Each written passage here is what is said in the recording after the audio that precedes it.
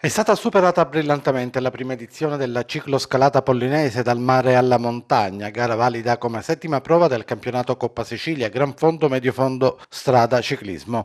La manifestazione è stata organizzata dalla SD Biciclub Stefanese e ha avuto il patrocinio del comune di Pollina. Voglio ringraziare la Biciclub Stefanese eh, per questa gara che è organizzata oggi qui a Pollina. Apriamo il cartellone estive, l'estate pollinese proprio con questa gara per proprio valorizzare valorizzare il nostro territorio ancora di più e per far ammirare a, eh, anche i ciclisti quanto è bello il territorio di Pollina e Finale. È stata abbastanza nutrita la partecipazione che ha toccato quota 200 iscritti, tutti grandi appassionati di ciclismo che hanno voluto mettersi alla prova su un circuito abbastanza duro ed irto di difficoltà che ha rodato lo stato di forma degli atleti partecipanti. Rappresentava senza dubbio una delle salite più interessanti e conosciute per gli appassionati di ciclismo che vivono e pedalano da queste parti. La gara ha preso il via dalla frazione marinara di finale per salire a Pollina percorrendo 7,4 km per un dislivello di 606 metri su una strada fatta di vari tornanti.